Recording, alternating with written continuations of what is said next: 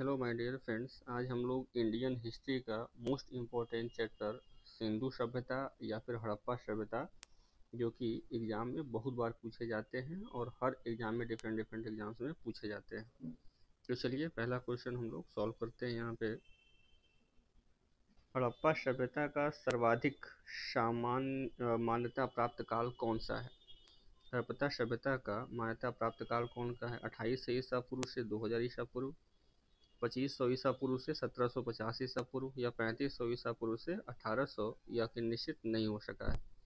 तो चलिए देखते हैं कौन सा आंसर इसका सही है कि अगर आपने बी किया है तो बी बिल्कुल करेक्ट है, पच्चीस सौ ईसा पूर्व से सत्रह सौ पचास ईसा पूर्व। नेक्स्ट है, सिंधु घाटी की सभ्यता, निम्नलिखित में से किस सभ्यता के समकालीन नहीं थी? मिस्र की सभ्यता, मिसोपोटामिया की सभ्यता, चीन की सभ्यता और ग्रीक की सभ्यता, किस सभ्यता के समकालीन नहीं थे? तो करेक्ट ऑप्शन यहाँ पे हो जाएगा डी यानी ग्रीक की सभ्यता के समकालीन नहीं थी।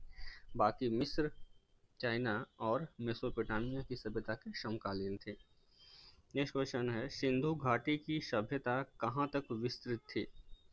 पंजाब, दिल्ली और जम्मू कश्मीर, राजस्थान, बिहार, बंगाल और उड़ीसा, पंजाब, राजस्थान उड़ीसा और बंगाल, पंजाब, राजस्थान, गुजरात, उत्तर प्रदेश, हरियाणा और सिंध और बलूचिस्तान। तो कहाँ तक ये विस्तृत थी? तो करेक्ट ऑप्शन जो होगा यहाँ पे वो डी होगा। अगर डी आपने किया है तो बिल्कुल करेक्ट है। नेक्स्ट क्वेश्चन हम लोग देखेंगे। क्वेश्चन नंबर फोर सिंधु घाटी की सभ्यता में घोड़े के अवशेष कहाँ मिले हैं? सूरकोटदा में, बड़ावली में, मांडा में या फिर कालीबंगा में? घोड़े के अवशेष कहाँ मिले हैं? तो करेक्ट आंसर आपने अगर ए किया है तो बिल्कुल सही। सिंधु घाटी स्थल कालीबंगम किस प्रदेश में है? राजस्थान में, गुजरात में, मध्य प्रदेश में या फिर उत्तर प्रदेश में? कालीबंगम किस प्रदेश में है? तो अगर आपने आंसर दिया है ए तो बिल्कुल सही, यानी राजस्थान में। निम्नलिखित में से किस पदार्थ का उपयोग हड़प्पा कालीन मुद्राओं के निर्माण में मुख्य रूप से किया गया है? सेल खड़ी का, कांसा का, तांबा का या फिर लोहे का? हड़प्पा कालीन में किन मुद्राओं के निर्माण में किसका प्रयोग किया जाता था? तो अगर ऑप्शन ए आप देखेंगे तो बिल्कुल सही है सेलखड़ी का उपयोग किया जाता था। हड़प्पा सभ्यता किस युग की थी? कांस्य युग की थी, नौपाषाण युग की थी, पुरापाषाण युग की थी या फिर लौह युग की थी? हड़प्पा सभ्यता किस युग की थी? तो ऑप्शन ए बिल्कुल सही है, यानी कांस्य युग की थी। सेवेंथ का, ये बिल्कुल आप करेक्ट आंसर है। Next question number eight Sindhu घाटी सभ्यता के लोगों का मुख्य व्यवसाय क्या था? व्यापार करना, पशुपालन करना, शिकार करना या फिर कृषि करना? सिंधु घाटी की सभ्यता का मेन काम था ये व्यापार करना यानी बिज़नेस करना। हड़प्पा सभ्यता के निवासी क्या थे? ग्रामीण थे, शहरी थे, यायावर थे या फिर जनजातीय थे? यानी ग्रामीण सभ्यता, जो हड़प्पा सभ्यता के निवासी किस थे? तो वो अगर ऑप्शन बी किया है आपने तो बिल्कुल सही है, वो शहरी हुआ करते थे, क्योंकि ये शहरी सभ्यता थी। सिंधु घाटी सभ्यता के घर किससे बनाए जाते थे? ईंट से, बाँस से, पत्थरों से या फिर लकड़ी से? जल्दी से बताइए कि सिंधु सभ्यता के घरों का निर्माण जो है, किससे किया जाता था? तो अगर आपने आंसर दिया है, ये तो बिल्कुल सही है। ईंट से बनाया जाता था क्योंकि ईंट के बहुत सारे प्रमाण मिले हैं। हड़प्पा सभ्यतावासी किस वस्तु के उत्पादन में सर्वप्रथम थे? मुद्रा बनाने में कांस के औज़ार बनाने में, कपास या फिर जौ के उत्पादन में। हड़प्पा सभ्यता वासी की अगर बात करें तो कपास उत्पादन में ये नंबर वन पे हुआ करते थे। नेक्स्ट क्वेश्चन नंबर ट्वेल्व है। निम्नलिखित विद्वानों में से हड़प्पा सभ्यता का सर्वप्रथम खोजकर्ता कौन था? Sir John Marshall, R D Banerjee एक कनिंगम या फिर दयाराम शाही सर्वप्रथम खोजकर्ता कौन था? तो यहाँ पे डी बिल्कुल ऑप्शन सही है, यानी दयाराम शाही सिंधु सभ्यता का पंतनगर बंदरगाह कौन सा था? कालीबंगम, लोथल, रोपण या फिर मोहनजोदड़ो? तो करेक्ट आंसर होगा बी यानी लोथल। नेक्स्ट है, पैमानों की खोज ने यह सिद्ध कर दिया है कि सिंधु घाटी के लोग माप और तौल से परिचित थे। यह खोज कहाँ पर हुई? तो करेक्ट आंसर की अगर बात करें तो कालीबंगम या हड़प्पा या फिर चौहानजोदड़ो या फिर लोथल तो डी यानी लोथल बिल्कुल करेक्ट होगा यहाँ पे। नेक्स्ट है क्वेश्चन नंबर फिफ्टीन हड़प्पा कालीन समाज किन वर्गों में विभक्त था? शिकारी, पुजारी, किसान और छत्री या फिर विद्वान, योद्धा, व्यापारी और श्रमिक? तो अगर करेक्ट आंसर की बात करें तो इसी दोनों में से है करेक्ट आंसर आप जान सकते हैं। तो ये बी ऑप्शन यहाँ पे करेक्ट होगा इसका। नेक्स्ट क्वेश्चन नंबर हम लोग देखेंगे। क्वेश्चन नंबर सिक्सटीन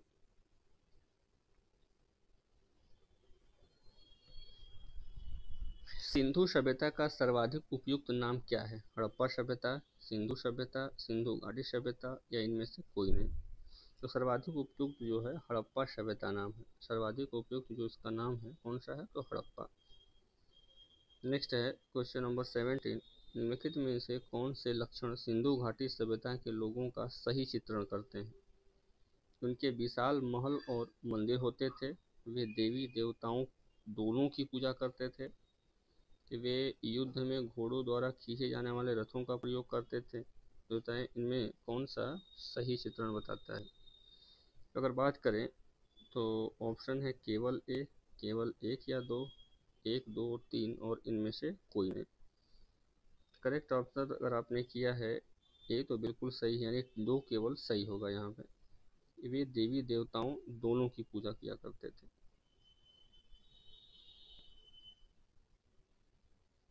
हड़प्पा सभ्यता की खोज किस वर्ष में हुई थी? 1935 में 1942 में 1901 में या फिर 1921 में? हड़प्पा सभ्यता की खोज किस वर्ष हुई थी? तो करेक्ट आंसर जो होगा वो डी, यानी 1901 में हड़प्पा सभ्यता की खोज हुई थी। हड़प्पा सभ्यता के बारे में कौन सी उक्ति सही है? उन्हें अश्वमेघ का जानकारी थी, गाय उनके लिए पवित्र थी, पशुपति का सम्मान करना आरंभ किया या उनकी संस्कृति सामान्यतः स्थिर थी? तो अगर बात करें 19 का सी, उन्होंने पशुपति सम्मान प्रारंभ किया था। पशुपति का सम्मान करते थे वो लोग। कंट्री हड़प्पा के लोगों की सामाजिक पद्धति क्या थी? हड़प्पा के लोगों की सामाजिक पद्धति क्या थी? उचित, क्षमतावादी, दास श्रमिक आधारित वर्ण आधारित या फिर जाति आधारित? करेक्ट आंसर की बात करें तो ए यहाँ पे जो होगा, उचित क्षमतावादी थे, उचित क्षमतावादी। Next question number twenty one. Sindhu का नखलिस्तान बाग या फिर हड़प्पा सभ्यता के किस पुरा स्थल को कहा जाता है? ऑप्शन है हड़प्पा या फिर मोहनजोदड़ो, कालीबंगा या फिर लोथल। किसको सिंध का नखलिस्तान कहा जाता है? सिंध का बाग कहा जाता है। तो ट्वेंटी वन का जो करेक्ट आंसर है मोहन जोदड़ो यानी बी ऑप्शन करेक्ट होगा। हड़प्पा सभ्यता के संपूर्ण क्षेत्र का आकार किस प्रकार का था? वर्गाकार, आयताकार, त्रिभुजाकार या फिर गोलाकार? हड़प्पा सभ्यता का जो आकार था, वो त्रिभुजाकार आकार हुआ करता था। नेक्स्ट को सुमेलित करना है कि स्थल और नदी कहाँ से सुमेलित किया है? तो स्थल और नदी, अगर देखते हैं पहला हड़प्पा तो हड़प्पा रावी नदी किनारे बिल्कुल सही है। मोहनजोदड़ो सिंधु नदी किनारे ये भी सही है। लोथल भोगा नदी किनारे और काली कालीबंगा घग्गर नदी किनारे तो ये बिल्कुल सही है। तो करेक्ट आंसर जो होगा वो ट्वेंटी थ्री का ए बिल्कुल सही यहाँ पे ऑप्शन हो जाएगा। Next question number twenty four which of the twenty four question में बोल रहा है कि हड़प्पा सभ्यता के अंतर्गत हल से जोते गए खेत का साक्ष्य कहाँ से मिलता है? हड़प्पा सभ्यता के अंतर्गत हल से जोते गए खेत का साक्ष्य कहाँ से मिलता है? ऑप्शन है रोपण, लोथल, कालीबंगा या फिर बड़ावली से। तो करेक्ट आंसर यहाँ पे हो जाएगा सी यानी कालीबंगा से जोते गए खेत के साक्ष्य मिलते हैं। सैंथो सभ्यता की ईंटों का अलंकरण किस स्थान से मिलता है? कालीबंगा से, चहंदोड़ों से, मोहनजोड़ों से या फिर बड़ावली से? तो करेक्ट आंसर आपका जो होगा यहाँ पे, अगर आपने ए किया तो बिल्कुल सही है। कालीबंगा से ईंटों का अंकरण मिलता है। मोहन जोदड़ो कहाँ पर स्थित है? पंजाब, सिंधु, गुजरात या फिर उत्तर प्रदेश में? मोहनजोदड़ो कहाँ पे स्थित है? करेक्ट आंसर हो जाएगा बी, यानी सिंधु में स्थित है। नेक्स्ट है, क्वेश्चन नंबर है ट्वेंटी सेवन। सिंधु सभ्यता के बृहद स्नानागार पाया गया था मोहनजोदड़ो में, हड़प्पा में, लोथल में या फिर कालीबंगा में। तो बृहद स्नानागार कहाँ पाया गया था? तो बृहद स्नानान जो है, बिल्कुल ए सही है, यानी मोहनजोदड़ो में पाया गया था। Question number twenty eight. Sindhu सभ्यता की मुद्रा में किस देवता के समतुल्य चित्रांकन मिलता है? किस देवता के समतुल्य? आदि शिव आदि ब्रह्मा आदि विष्णु या फिर आदि इंद्र? तो यहाँ पे अगर देखेंगे तो आदि शिव के ही चित्र समानता मिला करते थे। निम्नलिखित में से कौन सा हड़प्पा कालीन स्थल गुजरात में था? कालीबंगा, रोपण बनावली या फिर लोथल? तीनों में से कौन सा था? तो करेक्ट आंसर यहाँ पे डी यानी लोथल में हुआ करता था। मोहन जोदड़ो का स्थानीय नाम क्या है? जीवितों का टीला, कंकालों का टीला, दासों का टीला या मृतकों का टीला? मोहन जोदड़ो का स्थानीय नाम क्या है? तो करेक्ट आंसर आपका हो जाएगा डी यानी मृतकों का टीला mount of mount of dead मृतकों का टीला है। नेक्स्ट क्वेश्चन है थर्टी वन हड़प्पा सभ्यता का प्राचीन प्रचलित नाम क्या है? सिंधु सभ्यता, लोथल की सभ्यता, सिंधु घाटी सभ्यता या फिर मोहनजोदड़ो की सभ्यता? इसका जो है सर्वाधिक प्रचलित नाम की बात करें तो सिंधु घाटी की सभ्यता इसका सर्वाधिक प्रचलित नाम है। सैंधव स्थलों के उत्खनन से प्राप्त मुहरों पर निम्नलिखित में से किस पशु का सर्वाधिक उत्कीर्णन हुआ है? प्राप्त मुहरों में शेर का, घोड़ा का, बैल का या फिर हाथी का? तो यहाँ पे बैल का ज़्यादा मिला है, यानी ऑप्शन सी सिंधु घाटी सभ्यता जानी जाती है। अपने नगर नियोजन के लिए मोहनजोदड़ो एवं हड़प्पा के लिए, अपने किसी संबंधी कार्य के लिए, या फिर अपने उद्योग के लिए। तो इसमें जो करेक्ट आंसर होगा, वो अपने नगर नियोजन के लिए, यानी ऑप्शन ए बिल्कुल करेक्ट है। सिंधु सभ्यता का कौन सा स्थान भारत में स्थित है? हड़प्पा मोहनजोदड़ो लोथल या फिर इनमें से कोई नहीं। करेक्ट आंसर जो होगा, वो सी है, यानी लोथल जो गुजरात में स्थित है तो ऑप्शन सी यहाँ पे बिल्कुल करेक्ट होगा। नेक्स्ट है, भारत में खोजा गया सबसे पहला पुराना शहर। हड़प्पा है, पंजाब है मोहनजोदड़ो है, या फिर सिंधु है। भारत में खोजा गया सबसे पहला और पुराना शहर जो है।